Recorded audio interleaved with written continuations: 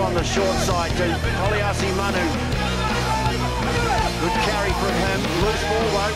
And uh, Andy Ellis, well, was away. Good now, Nadolo's away. Coming across and making the back tackle was Tim Nanai Williams. It was Rhys Marshall, the hooker, who got across to make it. It was a good effort too by Tim Nanai Williams to stop this man.